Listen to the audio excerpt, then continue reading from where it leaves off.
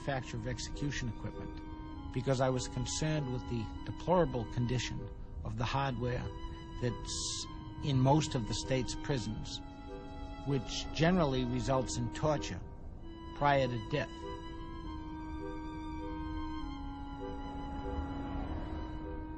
A number of years ago, I was asked by a state to look at their electric chair. I was surprised at the condition of the equipment, and I indicated to them what changes should be made to bring the equipment up to the point of doing a humane execution.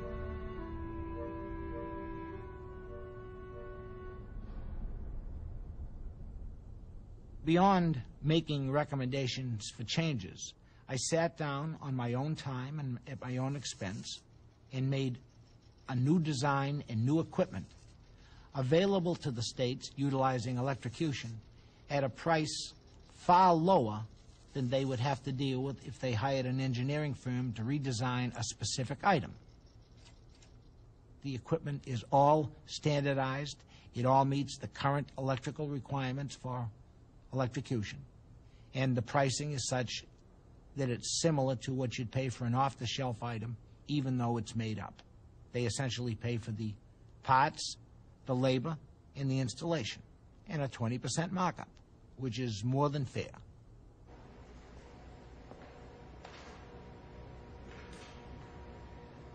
We are testing the electrocution system here at the Tennessee State Prison. This is connected to the execution system in place of the electric chair and the system thinks that this is a human body.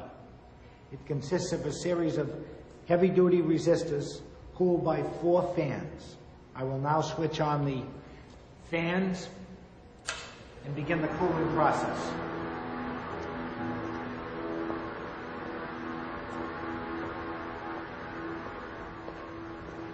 We then proceed to the power supply and we turn on the main circuit breaker.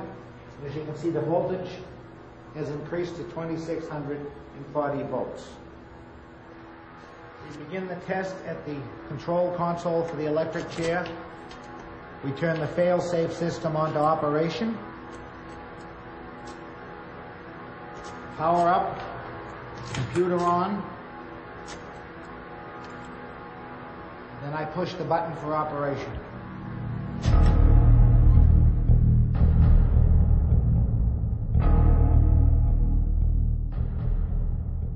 The human body is not easy to destroy, and it's not easy to take a life. Humanely and painlessly, without doing a great deal of damage to the individual's body. Excess current cooks the tissue. There have been occasions where a great amount of current has been applied, and the meat actually will come off the executee's body like the meat coming off a cooked chicken.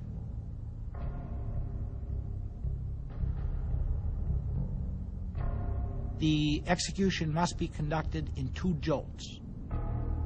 In one 200th 40th part of a second, the first jolt disrupts or destroys the individual's central nervous system. Current is then applied for a time approaching one minute. The adrenaline is being driven out into the bloodstream. The second jolt now seizes the pacemaker a second time. There's now no adrenaline left to restart the pacemaker. The person is dead. If the voltage does not exceed 2,000 volts throughout the execution, the individual's pacemaker is not permanently seized. In some 20 minutes, 30 minutes later, the individual's heart restarts itself on its own and the person is now alive again. They would have to call all the witnesses back, strap the vegetable back into the chair, and re-electrocute him.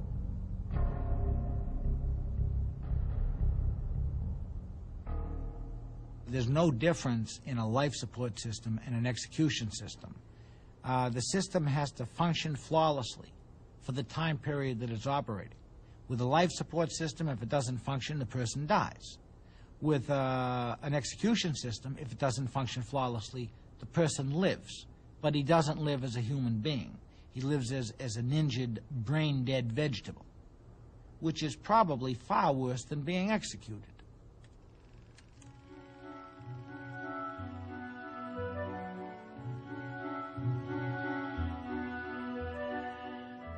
My father worked in the Massachusetts correctional system. He was a superintendent of transportation for many years, first at the old state prison in Charlestown and then at the new prison in Walpole, which has now since been renamed Cedar Junction. As many youngsters do, I went to work with my father. I'd been accompanying him to work since I was four years old. I visited all of the cell areas, including the death house area. I was in the same room that people like Sacco and Vanzetti were executed in.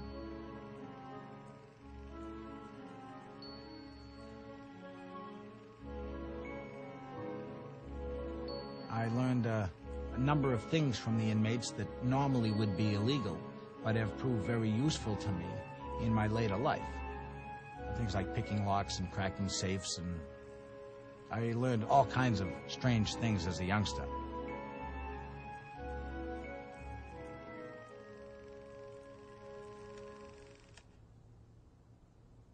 I came into the execution field from a backdoor standpoint because I was very concerned about the humanitarian aspects of death by torture, similar to what happened in the state of Florida two years ago with Mr. Jesse Tafero, where they actually set the man's head on fire.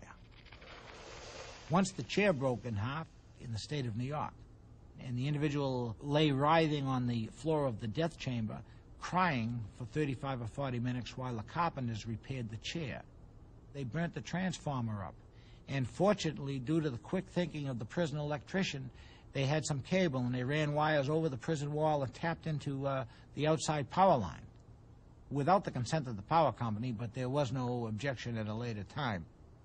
They had one execution where the transformer caught on fire and blew up, and it occurred in such a sequence that all it did was knock the individual unconscious. He came out of it with no apparent brain damage, no problem. Six months later, they repaired the electric chair and they did successfully execute him.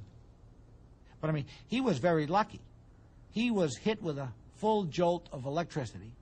The equipment blew up, burned up, and he walked away from it without any damage, not even a burn. One by one, I determined that this state's equipment was not functional, this state's equipment was not functional, and then suddenly, one day I said, None of the equipment is functional. Many of the electric chairs were built by inmates and electricians who had no idea of what they were building. They took a picture of another state's electric chair and they made something that looked like it.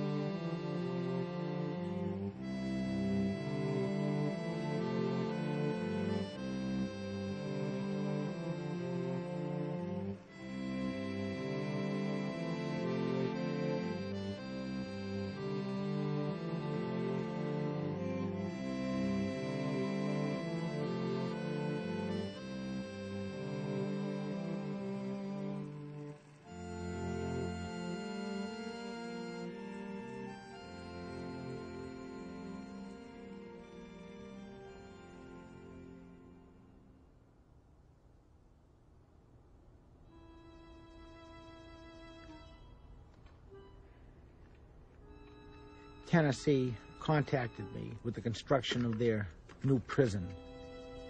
I was asked to inspect the equipment at the old facility and make a determination of what could be salvaged. The only consideration was that they wanted to maintain the electric chair, which they've had in place since 1898. The reasoning being that the wood from the electric chair not only had the tradition of all of their electrocution executions, but it also formerly served as the wood of their gallows. The chair itself was much smaller than one would expect. It looked more like it was made to accommodate a youngster or a woman. So we essentially made the chair wider, we made the chair higher. We supplied them with a completely new power supply, so there's no excessive cooking.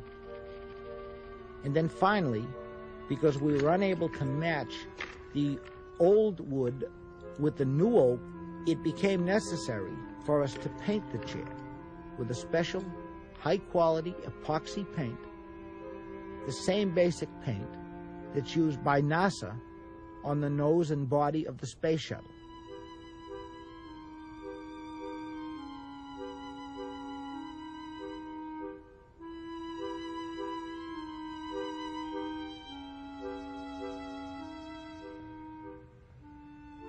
That was back in 89, I believe it was.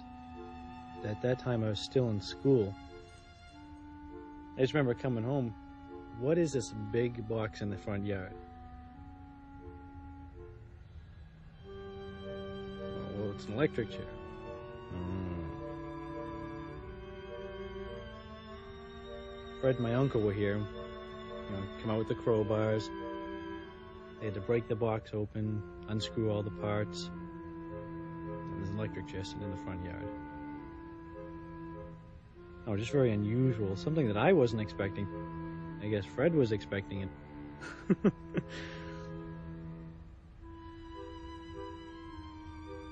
it's very difficult getting up and down those stairs with a couple hundred pound piece of oak chair. Well, of course, before we even brought it inside, had to have Fred sit down and it strapped him in. I said no thanks.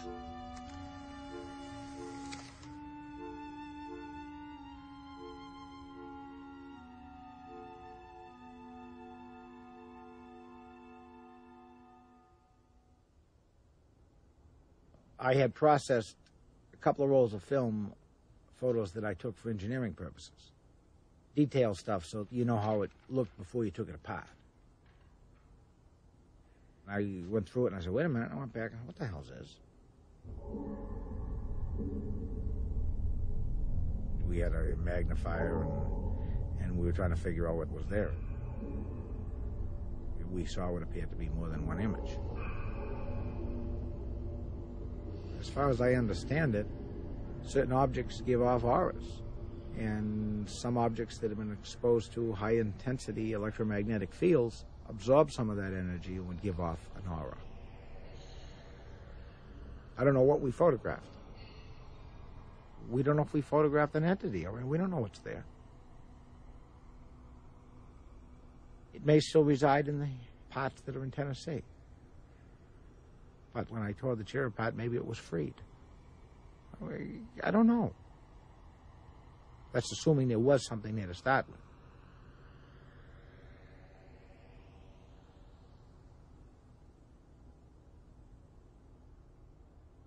Because of my work in electrocution, I was contacted by the state of New Jersey to consult with them on the construction of a lethal injection machine. They realized that lethal injection is a difficult, if not impossible, problem, even for trained medical personnel. They determined that there should be some kind of a machine that could repetitively deliver the necessary chemicals at the proper time intervals for all executions. This completely took the human factor out of it.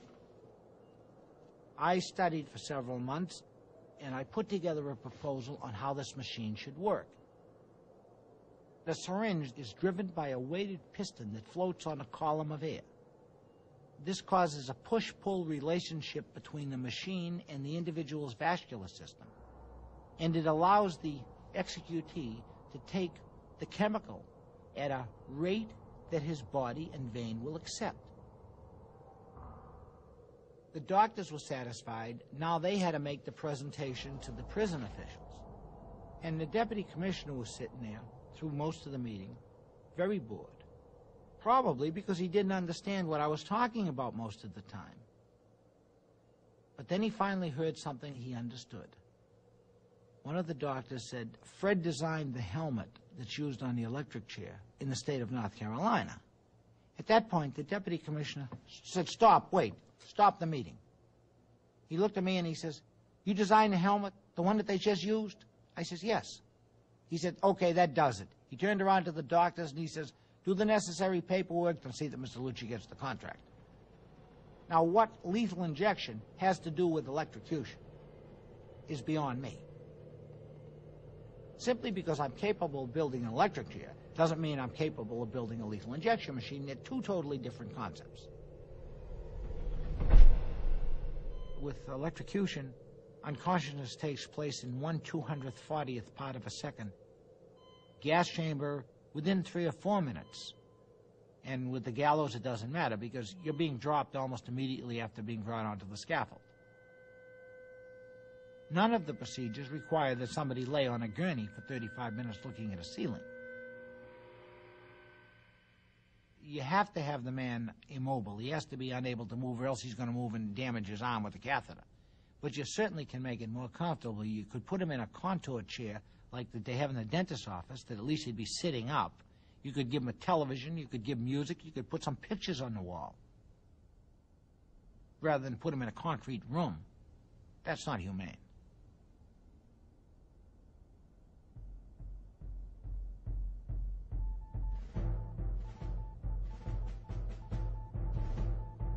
Essentially, the states talk with each other. We immediately got Illinois and we got Delaware. They had a hanging problem that they totally were not able to deal with. They had a gallows that when they that had been stored for 25 or 30 years, they took it out and they screwed it together and it fell over. The only thing that was left that was functional were the hinges for the trap door.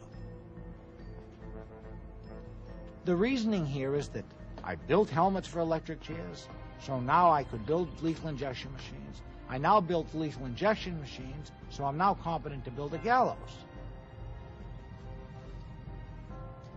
And since I'm building gallows, I'm also competent to work on gas chambers because I've done all of the other three.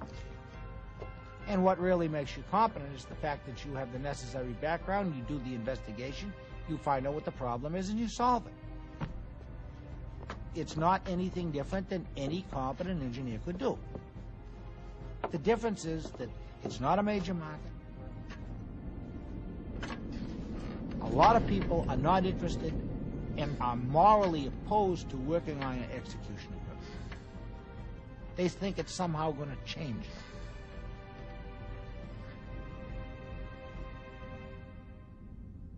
As you've probably guessed by now, I I am a proponent of capital punishment. Uh, I'm certainly not a proponent of capital torture. We must always remember and we must never forget the fact that the person being executed is a human being.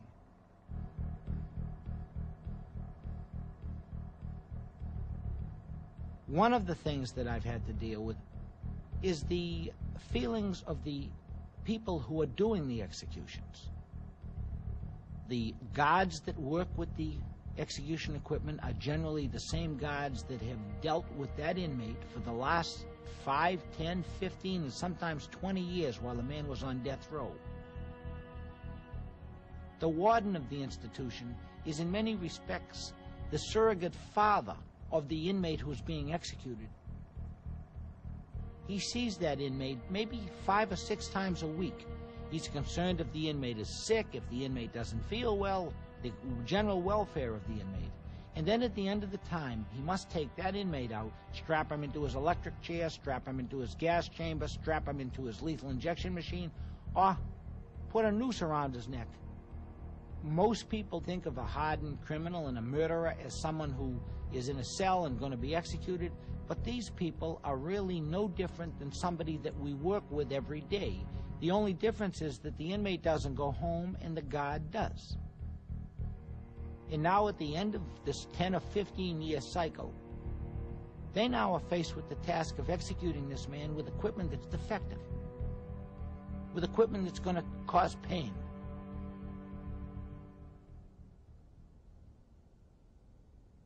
Even with a, a good execution, you get some burning at the electrodes.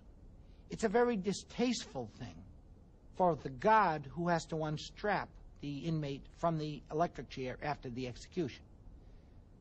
Normally, if we think of a belt with holes in it and the pin through the holes, that guard has to then compress all the flesh and everything on the body. It's oozing because it's been cooked. He has to get the body fluids on his hands. With the equipment we designed, all of the straps are instant release. They're the same as the safety belts in your car. You hit a button and the strap opens. Another thing that we do is that our electric chair contains a drip pan. All executees during the execution lose control of their bodily functions. They urinate and defecate in their pants on the chair. This normally winds up on the chair and on the floor directly beneath the chair. This is a disgusting thing when it occurs. It's a very inhumane thing to allow a person who's being executed, a human being, and who should be afforded the greatest dignity of all because he's losing his life. It's a disgusting and a degrading thing to allow him to defecate and, quite frankly, piss on the floor. Additionally, the urine, when it hits the floor, and I think everybody knows that urine is highly conductive, it's normally mopped up. If there's a second execution or a third execution, and this sometimes occurs where they have more than one execution at the same time, the guards in the death house now have to work and stand on a floor that's dampened and wet with this highly conductive urine. And fortunately, there's never been an accident, but it's quite possible for the urine to conduct the electricity and shock a guard. And nobody should have to place his life in jeopardy because an execution is being conducted.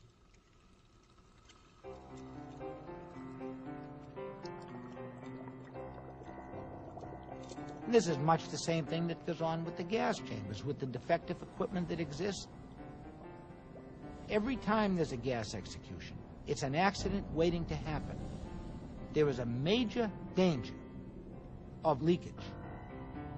And I honestly believe and I wish that those remaining few states that are utilizing gas would do away with the gas chamber and go to lethal injection or some other procedure which wouldn't place in danger the lives of witnesses and prison officials who have to be at that execution to see that the execution conforms with the law. Being familiar with all of the four systems that we use, I would much rather be electrocuted. Providing you were going to electrocute me on the system that's in Tennessee. I don't want to be electrocuted in Virginia. I don't want to be electrocuted in Florida. I don't want to be uh, electrocuted in Alabama. I don't want to be uh, Mr. Tafero, or I don't want to have my eyeballs blown across the room. I'd like the execution procedure to go smoothly. I have often been asked, generally by some type of adverse party, whether I sleep at night or how well I sleep at night. And my answer is always the same I sleep very well at night. And I sleep with the comforting thought of knowing that those persons that are being executed, with my equipment, that these people have a better chance of having a painless, more humane, and dignified execution.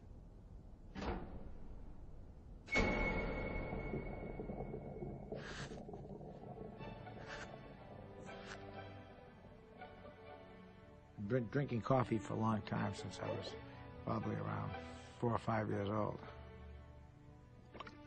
Yes, still true. I love coffee. I think it's running through my veins.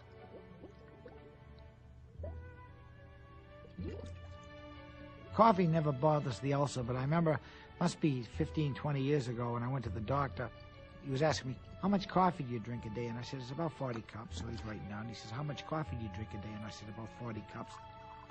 And he says, how much coffee do you drink a day? And I says, about 40 cups. He says, look, I'm not kidding. I says, I'm not kidding either. He said, oh? How much do you smoke a day? And I said, about six packs. He said six packs of cigarettes, 40 cups of coffee a day. He you should be dead by now. if I don't drink the coffee, I get headaches. They're terrible. My body's so used to the caffeine that it doesn't bother me. I'm asleep before my head hits the pillow.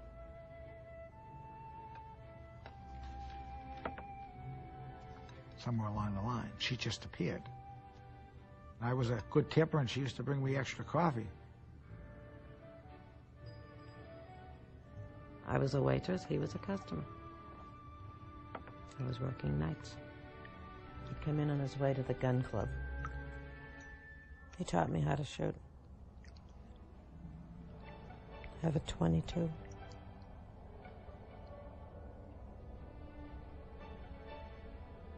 This guy, Joe, asked me if I knew what Fred did for a living. I said no, and he said he kills people. And that kind of surprised me until he explained exactly what he did.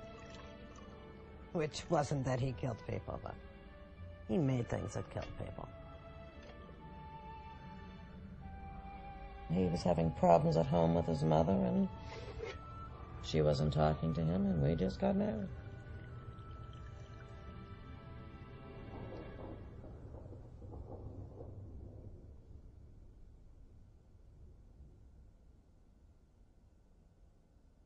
Because of my expertise in the construction of execution equipment, I was asked to testify by the defense team of Mr. Ernst Zundel, a German national living in Canada for some 20 odd years, who published a pamphlet, Did Six Million Really Die?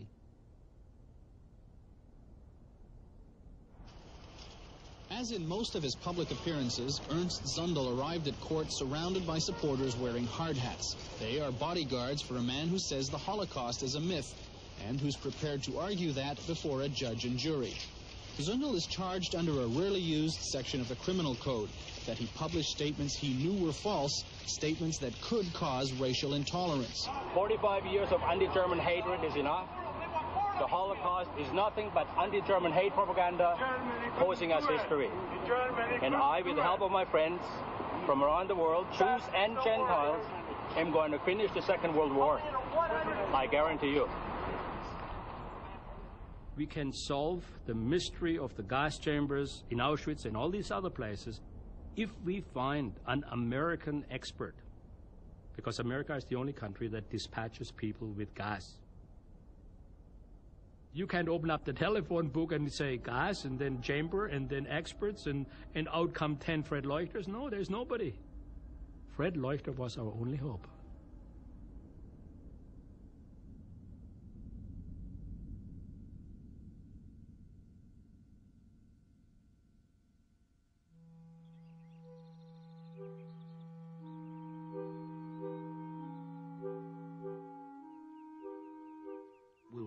For less than a month when we went. Although she doesn't like to hear it, I normally tell her that was her honeymoon. That's not a particularly good place to go for honeymoon, Poland. Every American, it would have done them good to visit there, and then they would have appreciated what we've got here.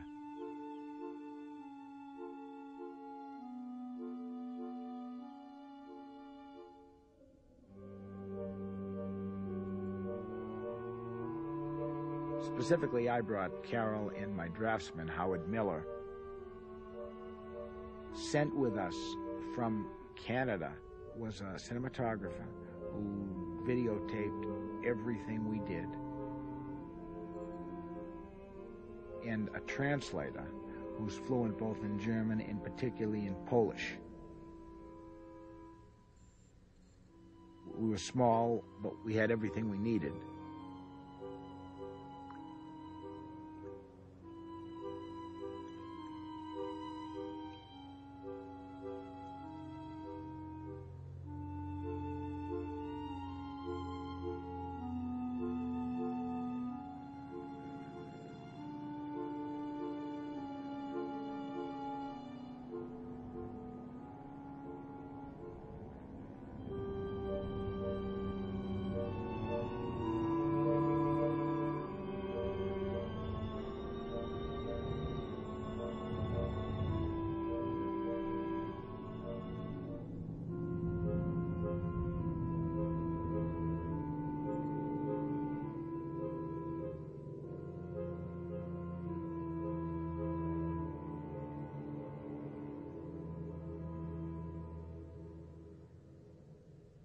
First night there, we stayed at the Auschwitz Hotel, which apparently was the officers' quarters for the German military at Auschwitz.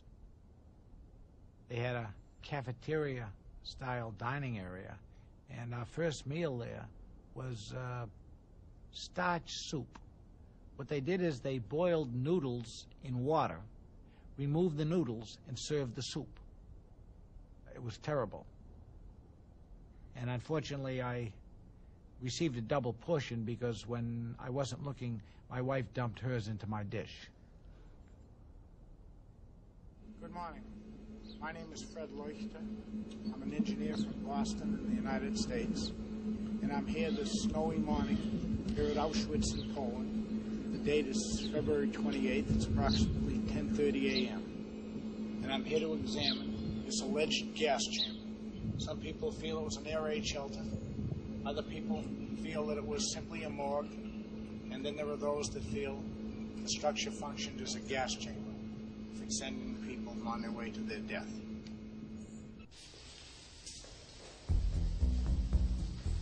Carol was outside at one of the entrances, essentially freezing. She was one of our lookouts. We had her at one door. Translator was at the other door. Howard, my draftsman, and myself were inside, taking measurements and recording the locations and bagging the samples. And the cinematographer was making the videotapes. So everybody was busy at what they were supposed to do, and we didn't have any extra people.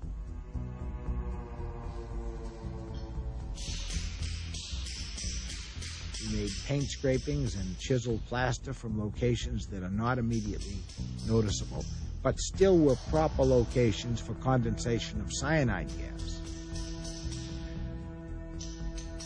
We made detailed scale drawings of the rooms with arrows showing the location that was removed. The notebook, videotape, and the drawings were given to the court and became part of the permanent evidence.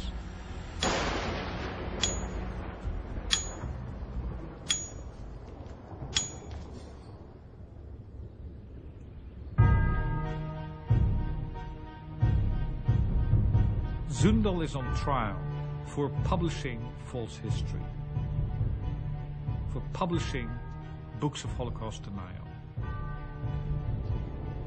He needs to prove that what others see as false history is true history. Fred Leuchter is their trump card. He will be the scientist who will reclaim from those ruins evidence the killing didn't happen there. Holocaust denial for me is so revolting. And the way for me not to immediately become sick of having to deal with Leuchter was by saying, okay, I'm going to map his journey. I have a job to do, and my job, my first job, is to try to understand where this guy was at what time.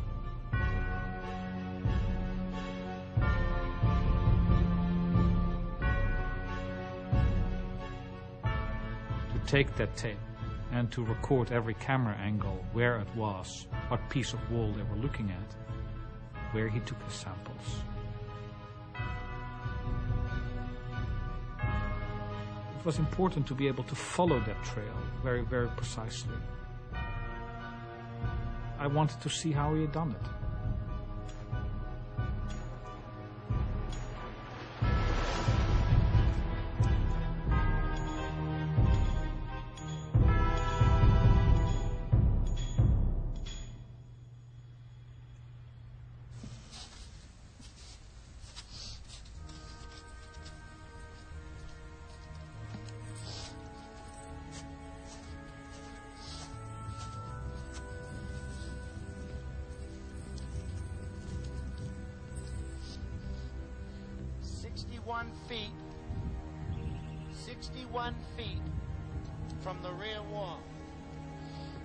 Is a victim of the myth of Sherlock Holmes. A crime has been committed, you go to the site of the crime and there was a magnifying glass, you find hair or you find a speck of dust on the shoe. Leuchter thinks that is the way reality can be reconstructed. But he is no Sherlock Holmes. He doesn't have the training.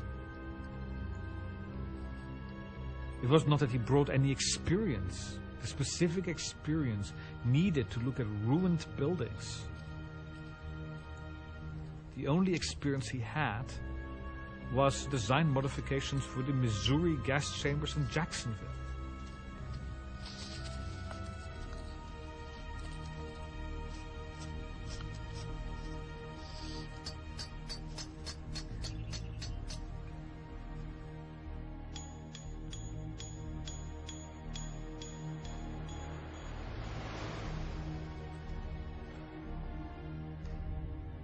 Birkenau, I never went in. I stayed in the car with no keys and froze my whatever off feet. I was in the car for hours. I brought books to read, mystery books, and crossword puzzles. I do a lot of crossword puzzles. I didn't consider it my honeymoon. Let's put it that way. I don't know that we ever slept in the same bed while we were there.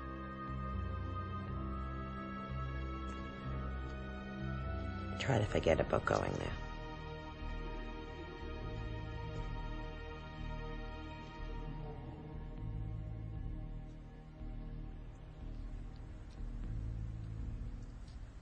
I should note that everything that was done was done in the best possible taste, understanding that these things are national shrines and national monuments. The only thing that was a little bit harrowing or frightening is that I didn't want to get caught. And unfortunately, you have to make a lot of noise when you're chiseling brick out of walls.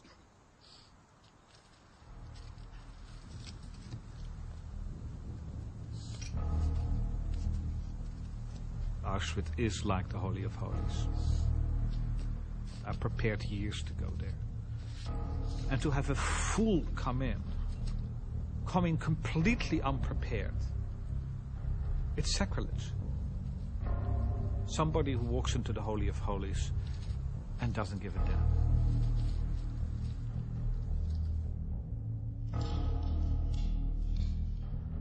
I expected to see facilities that could have been used as gas chambers. I expected to see areas that were explosion proof. I expected to see areas that were leak proof.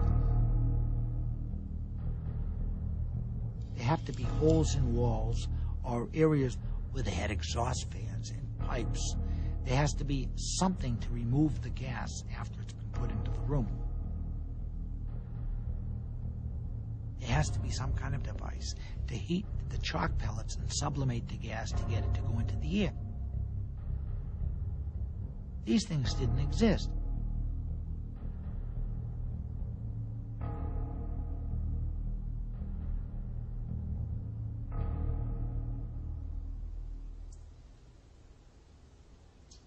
Auschwitz is very, very different from the place it was during the war. Everything has changed three or four times since that camp operated as an extermination camp. The barracks are 50 years old, they're moldy, they smell bad. It's not a smell of the war.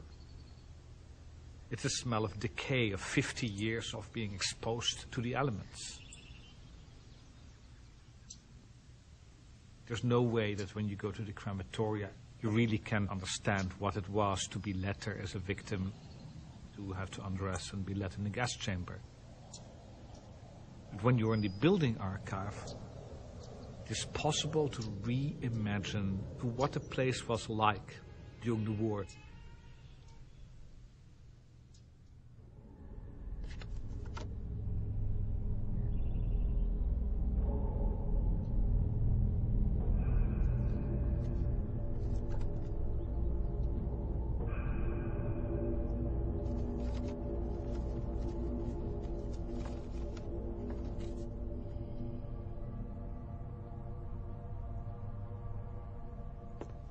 First time I came into the archive, I was stunned. I had found a mission, I had found a task, I had found a vocation. When you go to Birkenau, there's very little left. And to suddenly have in that room that concentration of evidence, there's this a tactile reality, incredible texture, the texture of making that camp.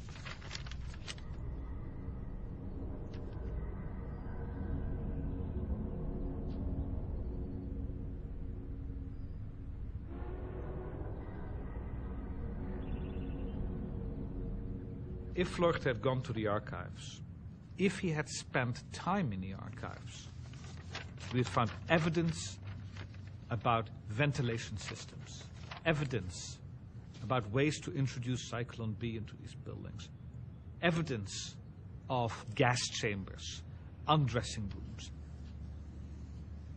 But then, of course, I don't think he knows German, so it wouldn't have helped very much.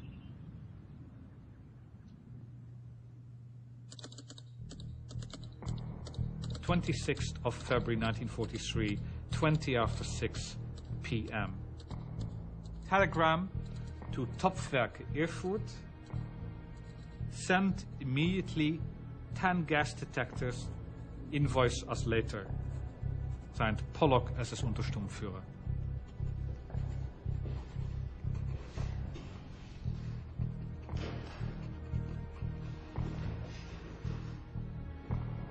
Auschwitz, 6 March 1943. Subject Crematoria 2 and 3. In accordance with your suggestion, cellar 1 should be preheated. At the same time, we would ask you to send an additional quotation for the air extraction installation in the undressing room. SS Sturmbannführer Bischoff.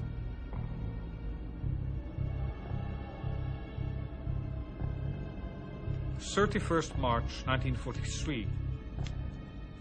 Three gas-tight doors have been completed. We remind you of an additional order for the gas door for the crematorium 3. This must be made with a spy hole with double 8mm glass.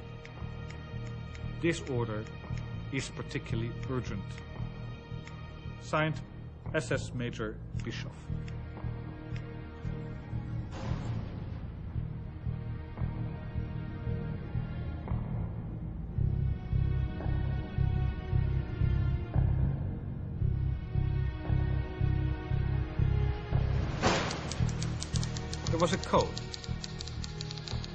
Had a coded language. You never talk about extermination. You always talk about special action or special treatment. There was a very clear policy. Words like gas chamber would not be used. The letter of Bischoff of the 29th of, of January is a kind of exception in this because it is a letter which is written by a person who, who manages the whole operation and who himself had established a policy that you would never use the word gas chamber. Somebody in the architecture office underlined the word Vergasungskeller, literally gassing basement, and put on top a note SS Untersturmführer Kirschneck exclamation mark. This means Kirschneck should be informed about this slip. And it doesn't occur after that. The Nazis were the first Holocaust deniers. Because they deny to themselves that it's happening.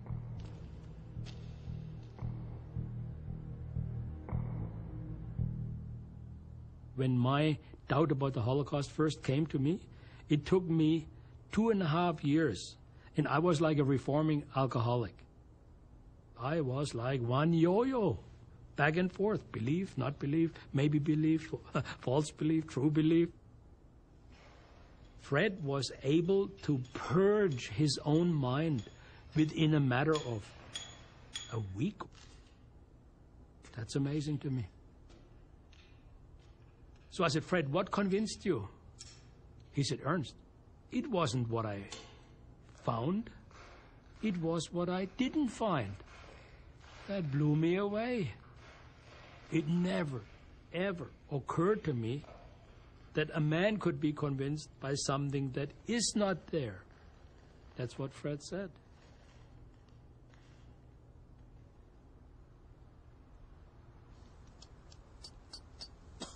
Before I went, I had no idea of their purpose. I just knew that there were concentration camps. I knew because I was taught that they had gas executions there. But I subsequently found out that the concentration camps were, in effect, slave labor camps. It doesn't make much sense that they would take an entire force of slave labor and execute them. You get into a situation where you start thinking about what happened, you look at the facilities, none of it seems to make any sense. If I were to take any one of the facilities and attempt to conduct a gas execution in them today, and the facilities haven't changed at all since 1942 or 1941, then what in effect I'd do is I'd kill myself and everybody else that was helping me do the execution. I certainly don't have a death wish, and I don't think the German SS had a death wish. If those facilities could be made competent for an execution, I would be the one that would be able to do that. And I assure you that nobody could do that better than I could.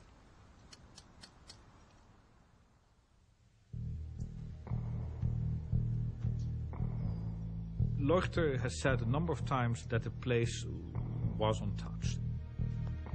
Just open your eyes. You realize that this is utter nonsense. Virtually every brick which was located in 1944 in one place has been relocated to another place. Where are all the bricks of the crematorium? It's an interesting question. There's some mountain of bricks in Crematorium 5, but for the rest there are no bricks. I think I know where they are.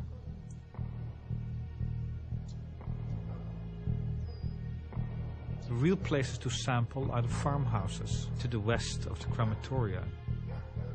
The farmhouses where people are living, children are playing, dogs are barking. These were rebuilt after the war, with bricks of the crematoria. This site has been turned inside out. What was inside the camp is now outside the camp. And inside you have a big void.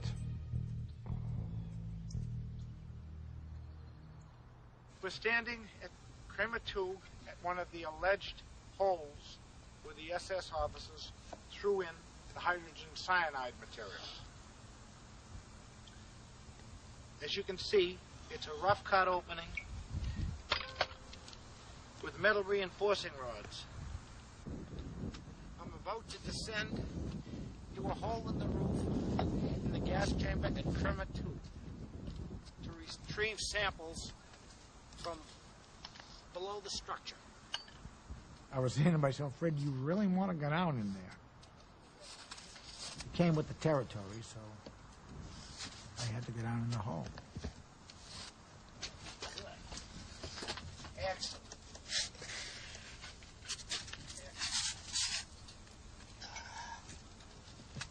And I can stand up in it. Not sure if the whole thing is going to come down on me.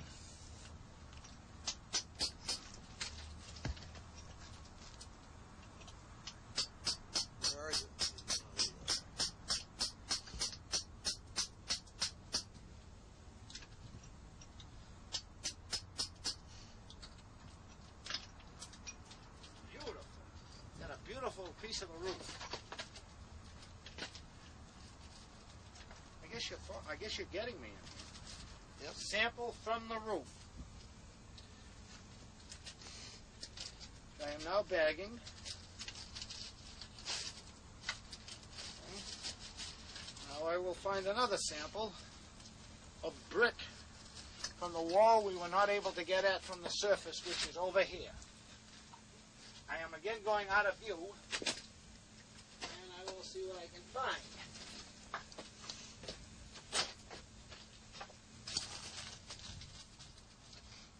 It was cold, it was wet, it was kind of spooky.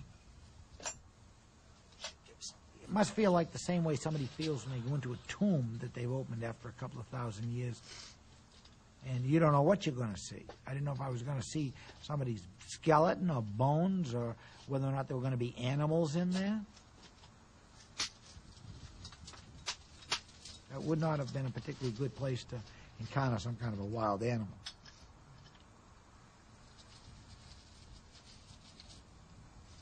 I have a sample of the concrete from the alleged pillar that carried this hydrocyanic acid into the chamber. It would be nice if I could obtain a floor sample, which I will seek in the lowest spot.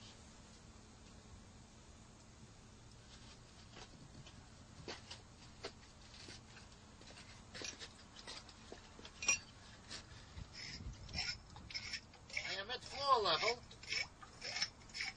The floor is covered with water.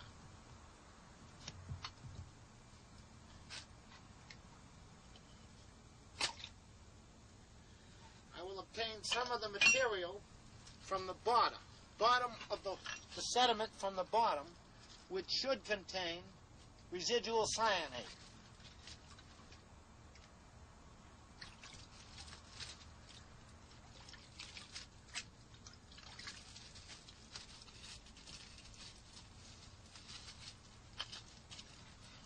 Okay, there not being much more I can do down here, I will ascend to the surface.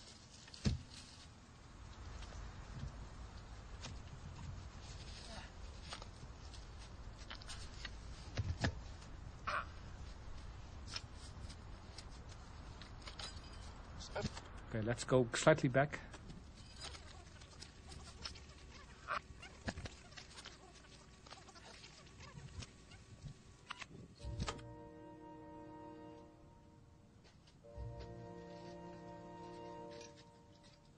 So crematorium 2 is the most lethal building at Auschwitz.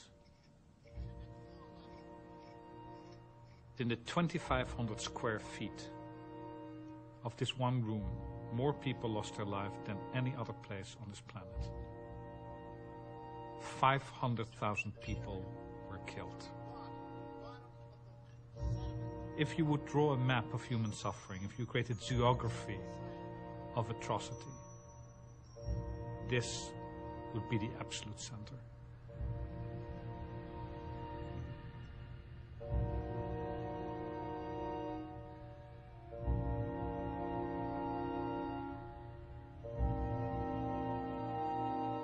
Every year, remains of human beings are found. Bones, teeth. The earth doesn't rest.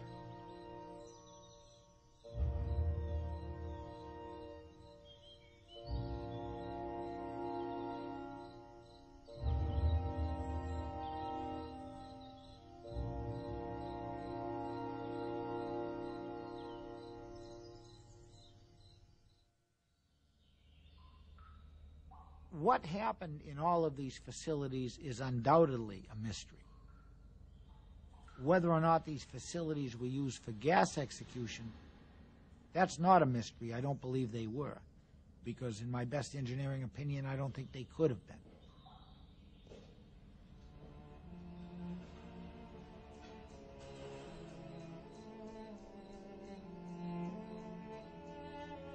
It's a tough job to execute several hundred people at once. We have a hard job executing one man.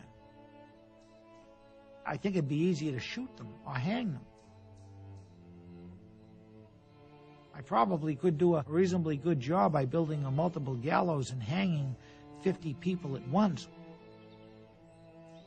I probably could execute more people within a shorter time frame. Why didn't they just shoot them? Bullets would have been cheaper than doing this. Why didn't they just blow them up?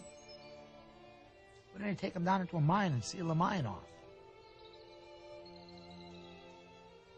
Maybe we're going to find an execution chamber under Berlin with 3,000 electric chairs lined up. I don't know. It just doesn't seem to make any sense.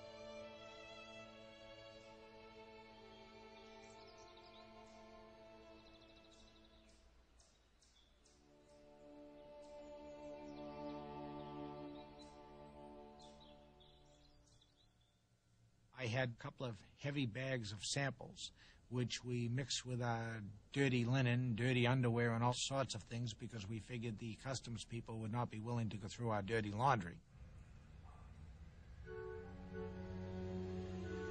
If in the event we got caught, we did have a contingency plan. I had maps of Austria, Czechoslovakia, and East Germany, and we would have made some kind of a ground flight across one of those countries to either get to Austria or to West Germany. We would have just essentially taken off and hoped we made it to a border before somebody figured out what was going on. They probably wouldn't have chased me immediately because I would have, from a practical standpoint, just been a vandal chiseling holes in their wall. I was never so relieved when we passed through the West German passport control because at least I hadn't chiseled at any of uh, the West Germans' national shrines.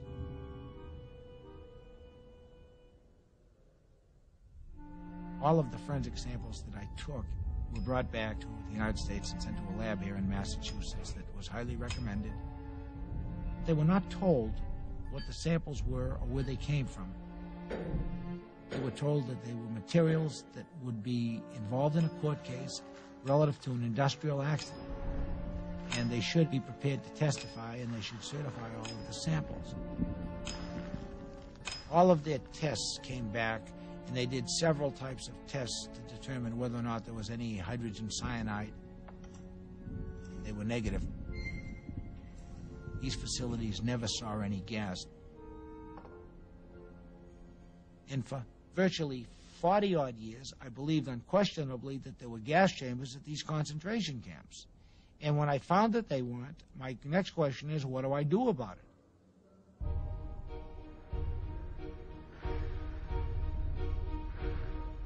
I completed my report and I testified at the trial.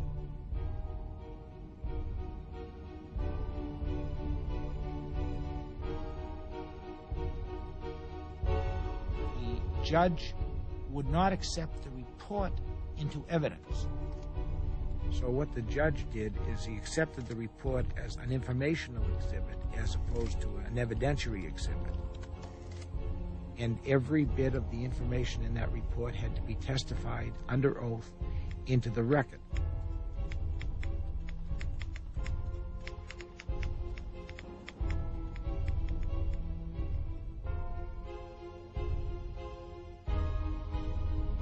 My publishing imprint in England, Focal Point Publications, we published the Leuchter Report.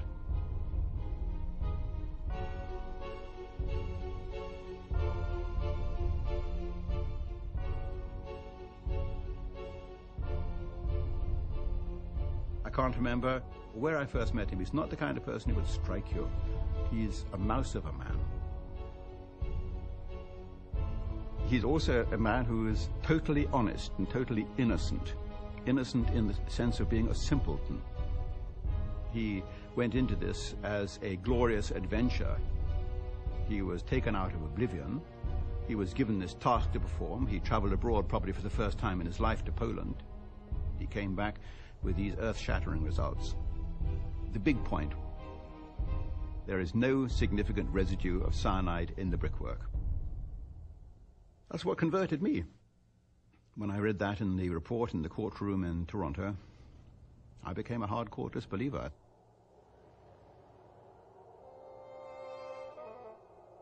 On April the 20th, 1988, Adolf Hitler's birthday.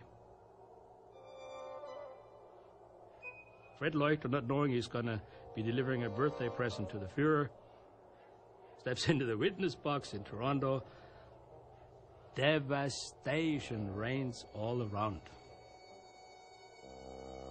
The prosecution and the judge were in a visible state of panic. I could see the facial muscles working in the judge. I could see the pale face of the prosecutor. This was history making. That was clear to everybody present. They cross examined Fred. Immediately, of course, they zeroed in on his soft, or inadequate academic credentials for what he was doing. The judge made a decision that could have been very dangerous to us. in that he said, these samples by themselves are worthless unless the defense can bring the man who did the testing. I went up to Toronto on very short notice, not knowing any of the background at all of what was going on. They wanted somebody from the laboratory to say, yes, we analyzed these samples. Yes, we produced this report on the analysis. And that's what I was there to do.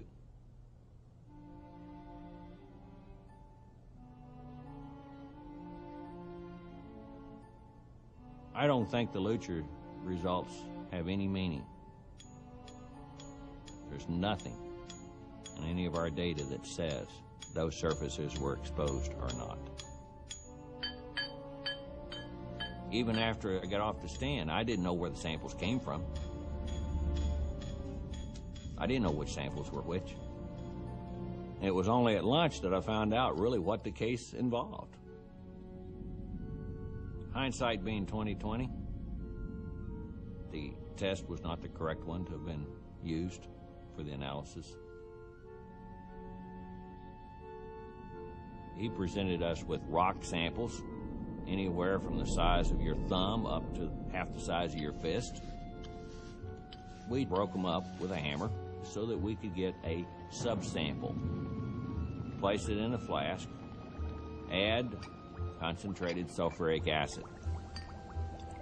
And it undergoes a reaction. It produces a red colored solution. It is the intensity of this red color that we can relate with cyanide concentration.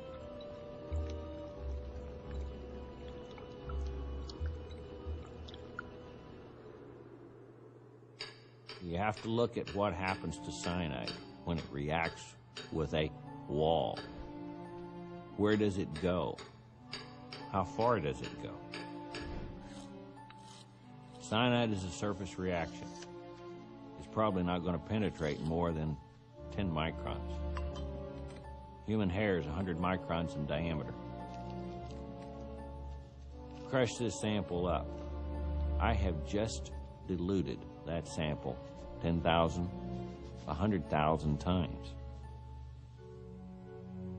If you're going to go look for it, you're going to look on the surface only.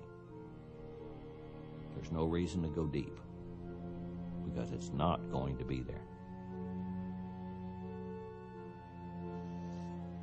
Which was the exposed surface? I didn't even have any idea. That's like analyzing paint on the wall by analyzing the timber that's behind it.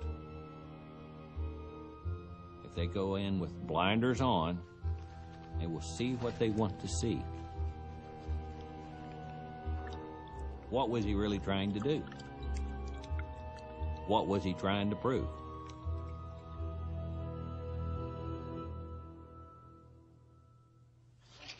The jury said Ernst Zundel is guilty of publishing news he knew to be false about the Holocaust.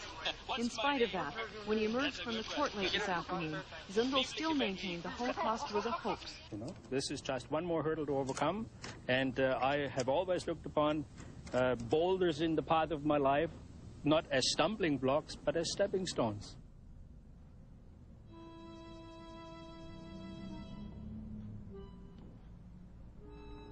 On my return from Canada, I went about my work and business as I normally did.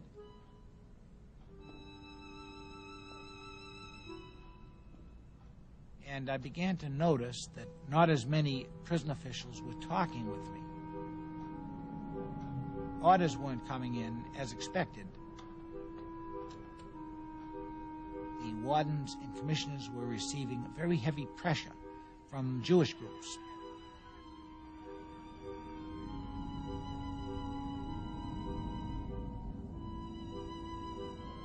There is no slippery slope for Mr. Fred Leuchter. The man is an anti Semite.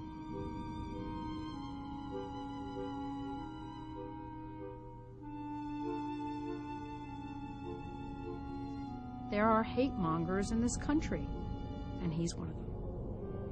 He handed over his entire life and reputation to the cause of spreading hatred. He didn't stop, he kept on going. He could have gotten out any time. You know, what kind of man is he? And why is he doing this? And what kind of reflection is this upon our community?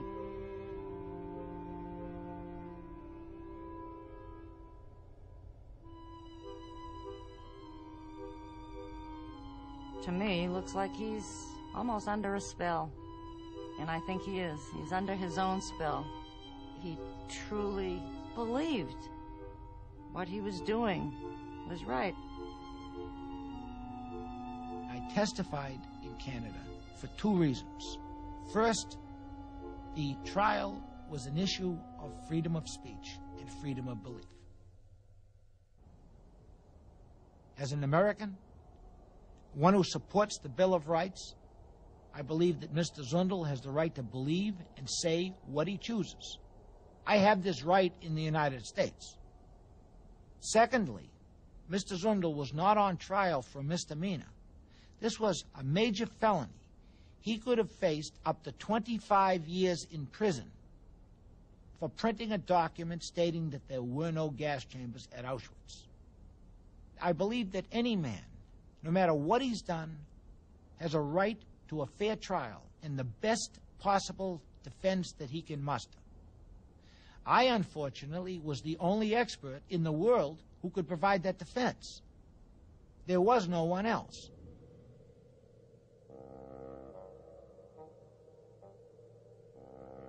I don't think he's naive. I think he was empowered by being part of this group. Who is this guy? The bottom line here is you got a guy who basically made a deal with the devil.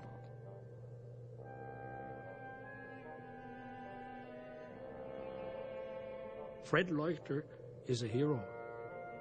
Not every generation gets a George Washington or a Thomas Jefferson.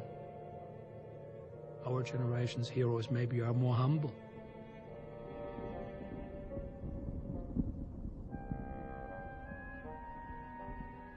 Fred got involved in this and wanted to play this game. And I think he thought it was a game at first. I really believe he did. How nice to fly to Canada, to go to Poland, get paid a lot of money and come back and have a lot of attention brought to him. I think he really dug it. I think that he really thought that that was great. I pity him.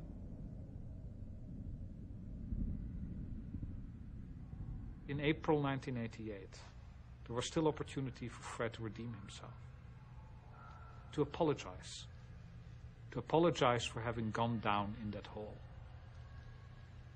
But he chose not to consider the evidence of his own foolishness.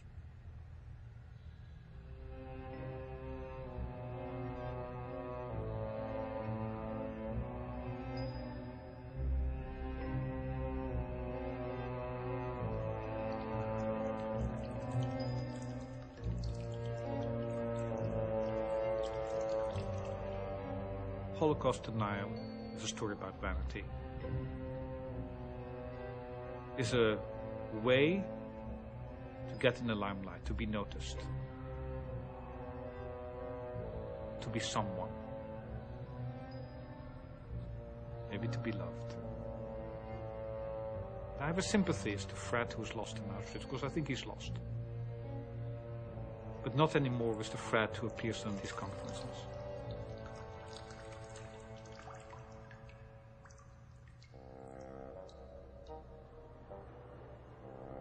Ignored, you're despised by many people. And then there is a home. And the home is the Institute for Historical Review. You make new friends. Go to one conference and you go to the second one. And the third and the fourth. And it's nice to get up and stand behind the lectern and have people applaud. They compare your logic with that of any university professor. Maybe it's about choosing the right friends. Please welcome a man whose work is a mighty blow for historical understanding, Mr. Fred Leuchter. My paper is entitled The Leuchter Report, The How and the Why. In 1980, 1988 was a very informative and likewise disturbing year for me. I was appalled to learn that much of what I was taught in school about 20th century history and World War II is a myth, if not a lie. I was first amazed, then annoyed, and then aware that the myth of the Holocaust was dead.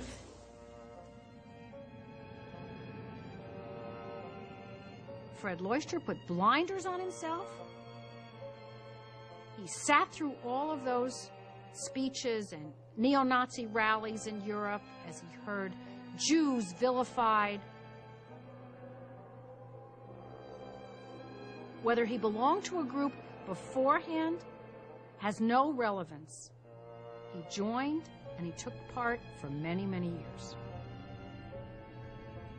I think Fred Leuchter, when he was called upon, became one of them.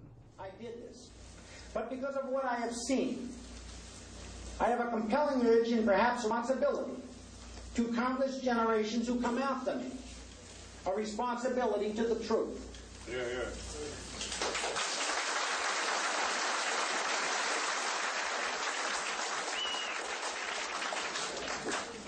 I thank you, ladies and gentlemen. I hope I've lived up to your expectations, and I will entertain any questions.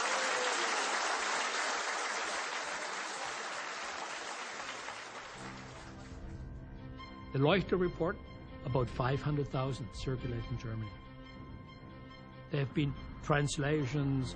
A Leuchter edition appeared in Russian, in Latvia, in Hungary, in Spanish. The Leuchter report is out there in dozens of languages, and I would dare say in millions of copies. We will not go down in history as being a nation of genocidal maniacs. We will not. We can, with historical truth, detoxify a poisoned planet. Holocaust Survivors and Friends has asked the Massachusetts Board of Registration of Engineers to investigate whether Leuchter is properly credentialed. Last week, the board's chief investigator told us that Leuchter is not certified as an engineer in Massachusetts. And if he's working or soliciting business here, he could be liable for criminal charges. I have no question that it's a conspiracy. They even pressured the engineering board here in Massachusetts into bringing a criminal complaint against me for practicing engineering without being registered. Less than 10% of the engineers in the state are licensed or registered. But I'm the only one that was ever prosecuted for practicing without a license. Did Christ have a diploma in Christianity? Did Marx have a diploma in Marxism? Did Adolf Hitler have a diploma in National Socialism? No, they did not. But they knew one hell of a lot about their field. I have a half of a lethal injection machine which belongs to the state of Delaware. We had a contract to repair the lethal injection machine and to repair their gallows and write their protocol for hanging. I was told that the Deputy Attorney General, Fred Silverman, would not allow me to complete the contract. A conference call was set up between correction officials and the Deputy Attorney General and several other Attorney Generals whom I had worked with in terms of the development of the hanging procedure. And Fred Silverman told me that I would not be allowed to deal with the state of Delaware because I testified in Canada. They did not pay me for the $7,000 work that I put into the repair of the machine. I lost all of the contract work for the gallows, and the state has effectively said, take the half of the machine that you've got and stick it someplace. I put an ad in the Want Advertiser the second week that the ad was running. Someone saw the ad, determined that the instrument shouldn't be sold because I was the one that was selling it. Subsequently, there was write-ups in both major Boston newspapers, and pressure was again applied to the district attorney's office and the attorney general's office to prosecute me for selling the machine. And it was necessary for the attorney general's office to explain in the newspaper that it is not illegal to sell a lethal injection machine to anybody. Delaware turned out to be a major problem, but I still have their machine. And anybody who's interested in buying half a lethal injection machine uh, can contact me, and it's available for the cost of the repairs. I went a lot of places that I probably wouldn't have gone, but basically, it was a nightmare. He had a job offer in California. He thought I was going with him. I told him that he could give his speeches, he could do whatever he wanted, but I would not be there. And I told him I went to a lawyer. And I explained to him that, yes, I could get a divorce, and yes, you have to leave here. I don't want you here. And he hemmed and hawed and whatever, but he left like a week later. When he left, he took his phone. The other phone was being shut off. The gas and electric was being shut off, and that was how he left it. If I never saw him again, that'd be fine.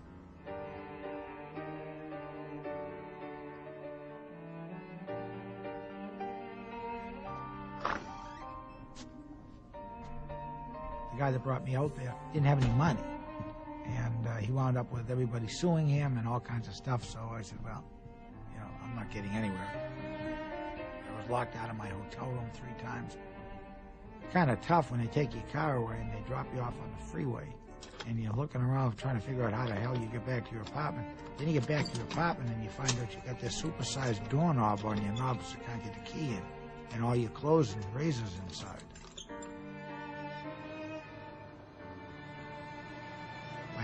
Car taken away from me while I was driving it on the freeway. I had another car taken away in a garage. These are rental cars that had been assigned to me. It's pretty tough when you're out in the middle of nowhere, all by yourself.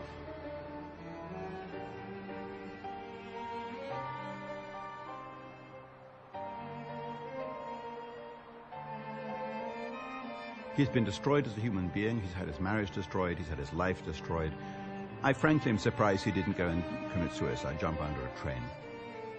He saw everything he had built up in his own quiet, humble way destroyed by these people he had never met, whom he had offended. All he did was take the bucket and spade and go over to Auschwitz and come back with the samples. And that was an, an act of criminal simplicity. He had no idea of what he was blundering into.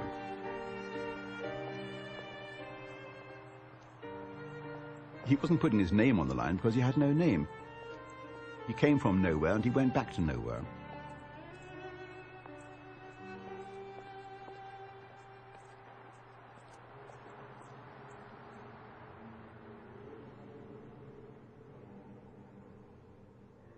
Of course, I'm not an anti Semite.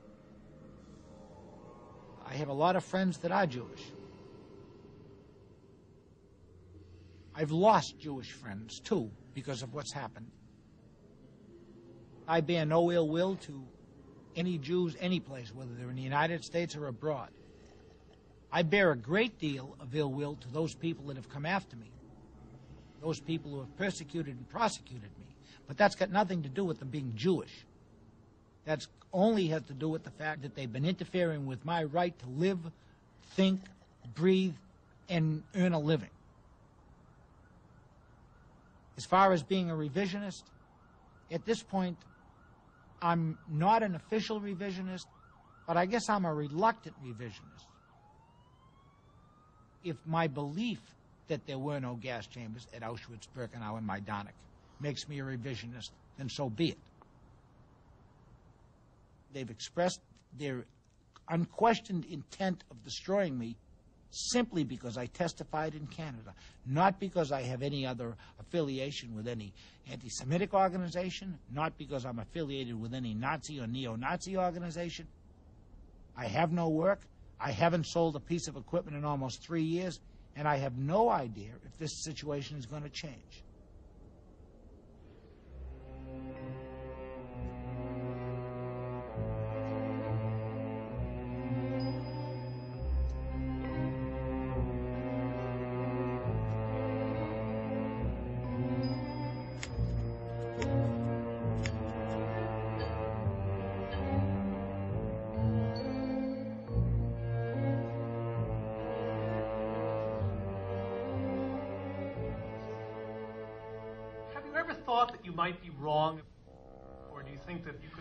Mistake? No, I'm past that. When I attempted to turn those facilities into gas execution facilities and was unable to, I made a decision at that point that I wasn't wrong. And perhaps that's why I did it. At least it cleared my mind, so I know that I left no stone unturned. I did everything possible to substantiate and prove the existence of the gas chambers, and I was unable to.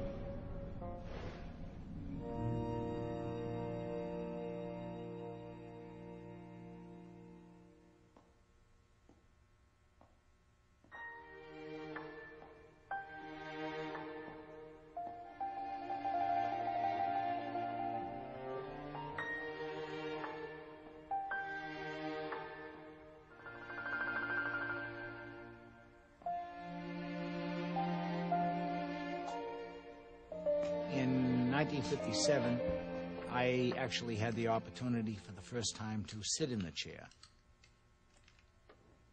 There's a legend that goes with the chair relative to prison personnel and their families.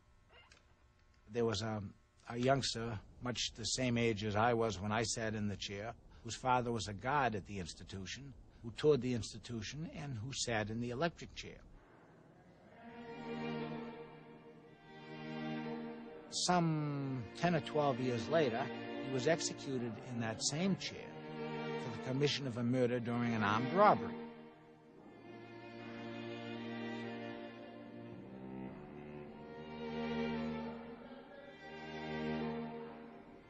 And so the legend grew that prison officials shouldn't allow their children to sit in the electric chair.